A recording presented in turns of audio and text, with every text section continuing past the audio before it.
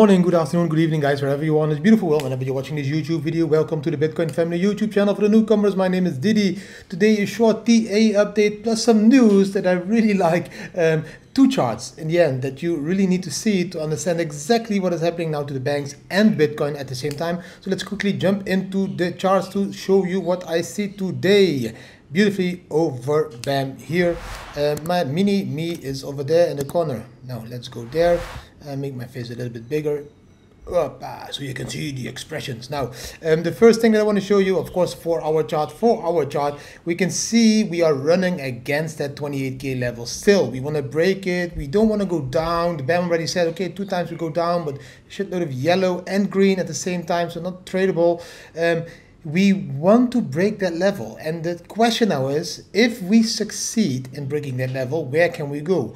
If we fail to break that level okay we can go and fall all the way back to this orange line at 25k as long as we stay above 25k i'm a very happy man. But what if we do break the 28k level? Where do we go then? Let's zoom out a little bit. Um, i will uh, shut down the bam bam over here the happy step to show you exactly. Look if we would go back, look at the volume at the right, guys. You can see now that um, we would run into a certain amount of volume at certain levels. So this is the volume we're fighting. The next volume will be around 30k.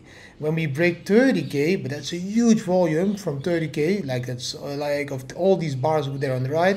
If we break the 30k level, then there is a huge gap all the way up till the massive volume of 38k.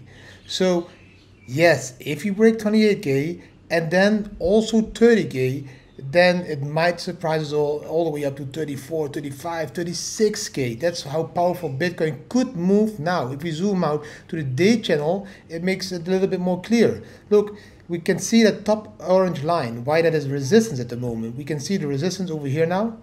But if you look to the left there, shitload of support.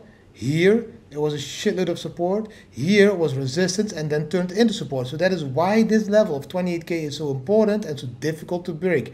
But again, if we break it, we take it all the way up to the next level around 30k, guys. It's beautiful. If you look at the bottom over here, you can see the RSI, for example. The RSI at the moment has a level of 75. Uh, but if you look at the last move that we did in Bitcoin, the one here on top from like um, 16k to all the way 25k, the RSI went all the way up to 92 293. So yes, there is more move uh, possible if you look to the RSI.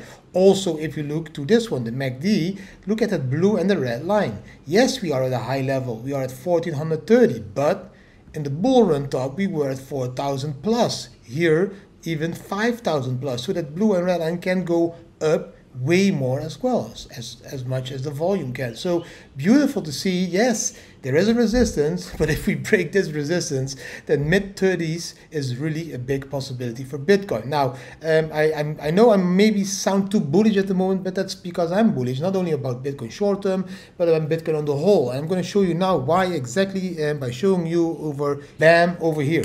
This is the one that I want to talk to you about. And um, we have now the position in the world that the banks they are cracking, they are breaking. Slowly they all fall like domino stones. They're like falling, falling, falling, falling. So the question now is, what will happen next? Will this mean that the whole monetary system will collapse? Will it not mean that the whole monetary system collapse? You know, people still don't understand why these banks are now failing. And because people still don't understand, I want to show you a short video clip that I saw on Twitter, really funny one, that explains perfectly why these banks are failing at the moment. Check this clip over here. Bam. Up to today, just chilling. Trying to think of some ways to make some money. Shit. Talking about money, pops. Remember, you got twenty dollars for me. Twenty. I don't have the whole twenty, but here's ten. I owe you ten more. Okay. Where you put that in your pocket, Patrick? You know you owe me twenty from last night. All right. I don't got the whole 20, but here it's 10. I'll give you the next 10 later. Yeah, don't let that get good to you because you owe me 20. I don't have the whole thing, but here's 10 for now. There's 10 on the 20 that you owed me. Patrick, I owed you 10. There it is. Casey, here's the 10 I owe you. And here's the 10 I owe you. So now I'm even. We're all even. Everybody paid in full. Everybody paid in full. Yeah, man. See. That is exactly the problem. That's a real world problem between three friends lending each other money, paying it back, and at the end settling it. Well, they all use the send 10 euro dollars. That is exactly how the banks are playing the game big time with all of our money. All the money you deposit on the bank, they do that game professionally in a big time, and it led to shitload of debt. And that debt that is almost irreversible at the moment because the only solution is printing more and creating more debt and more inflation, or letting the system crash or come up with a new system, central bank digital currencies. But we saw now, for example, in California, they are fighting against it. More countries in the world start to fight against it as well. So let's see where it will go. But that is why I believe that the Bitcoin monetary policy is way more better. Bam! That one is very simple. It is not difficult to understand. It is for everyone the same. It is this. This is the Bitcoin monetary policy. We can see that the halving over here was 6.25 Bitcoins per block, and then we will go to 3.1, and in 2028 we will go to 1.5, etc., etc., etc., all to the year 2140, where the last Bitcoin will be mined, and that will be with a block reward of 0.00000001 Bitcoin. So that is the monetary policy that is fixed and we can't change it and it will never be changed. And that's why it's so important to have this transparent policy so that everyone exactly knows how much money there is on the world that nobody can print some fake money out of thin air and by that make life more miserable and expensive for other people. Now, very important. Uh, what does Bitcoin need to do to, uh, to reach those levels, guys? Over here, we are now at number 18 over there.